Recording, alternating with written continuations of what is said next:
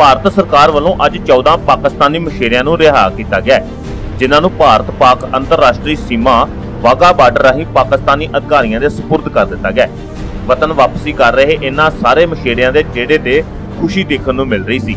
ਮਸ਼ੇਰਿਆਂ ਮੁਤਾਬਕ ਉਹ ਤਾਂ ਵਾਪਸ ਜਾ ਰਹੇ ਹਨ, ਪਰ ਉਹਨਾਂ ਦੀ ਰੋਜੀ ਰੋਟੀ ਦਾ ਸਹਾਰਾ ਕਿਸ਼ਤੀ ਸਰਕਾਰ ਨੇ ਇੱਥੇ ਰੱਖ ਲਈ ਹੈ। ਕਿ ਹਮ ਅਭੀ ਅਬ ਹਮੇ ਤਾਂ ਬਹੁਤ ਖੁਸ਼ੀ ਹੋਈ ਹਮ ਆਪਣੇ ਦੇਸ਼ ਜਾ ਰਹੇ ਹੈ। اور یہاں کی سرکار پر ہم بہت ابھیمان کرتے ہیں، کیونکہ جس نے ہم کو ابھی چھوڑا ہے۔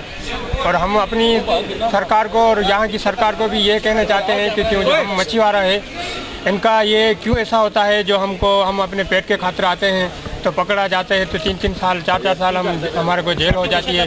اور اس کے بعد جو ہماری کشتی ہوتی ہے، ہمارے غریبوں کا یہی گزر ہوتا ہے، وہ کشتی بھی ہماری ہڑپ کر جاتے ہیں۔ اور بعد میں تین تین، چار چار سال ہم کو سزا دے کے بعد میں ادھر رکھتے ہیں۔